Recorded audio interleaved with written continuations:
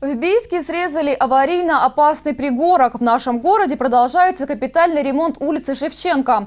По условиям контракта подрядчик должен закончить работы на объекте до 15 октября. Однако дорожники идут с опережением графика. И уже сейчас большая часть работ сделана.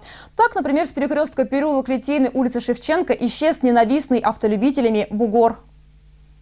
Ну, сложности возникали по одной простой причине. Коммуникации там были проведены. И Алтай Крайэнерго принял участие, и Бийский водоканал.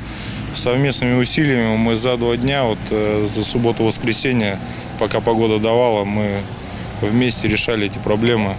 Ну, с легкостью преодолели. Работали до 10 часов вечера ежедневно. Потому что на сегодняшний день погода у нас крайне капризна. Работы на улице Шевченко закипели в конце июля. Проведены геодезические работы и подготовлено основание дороги.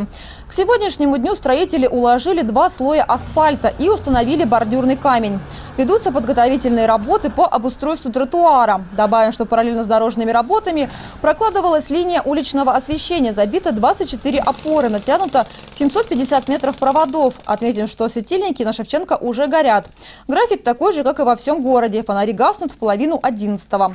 Добавим, что на этом объекте предусмотрен целый комплекс работ. К октябрю здесь появятся парковки, скамейки, клумбы и газон. Главное, как поясняют строители, чтобы не подвела погода.